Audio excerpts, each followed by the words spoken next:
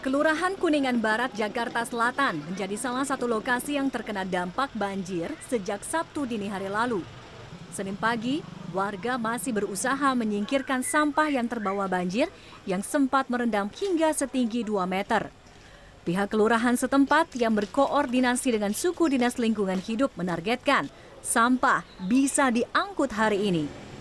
Selain itu penanganan pengungsi di kelurahan ini terus dilakukan hingga warga korban banjir bisa kembali ke rumah masing-masing.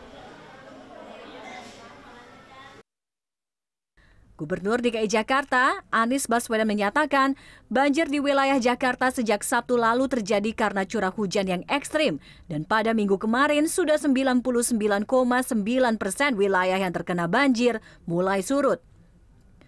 Menurut Anies, pihaknya bekerja sama dengan berbagai pihak untuk menangani banjir di Jakarta, sehingga pada Senin kondisi ekonomi dan bisnis di Jakarta sudah pulih 100 persen.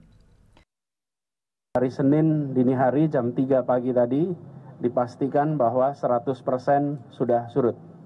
Seluruh kegiatan perekonomian, kegiatan pemerintahan bisa berlangsung tanpa ada gangguan sedikit pun akibat curah hujan ekstrim pada hari Sabtu yang lalu. Semua kerja bakti untuk membersihkan tempat yang terdampak oleh banjir. Jadi fasilitasnya tetap berada di sana.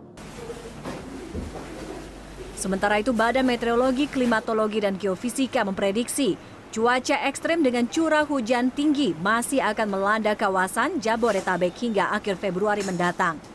Masyarakat diminta tetap waspada banjir serta menyiapkan peralatan hujan bagi mereka yang beraktivitas. Tim Liputan CNN Indonesia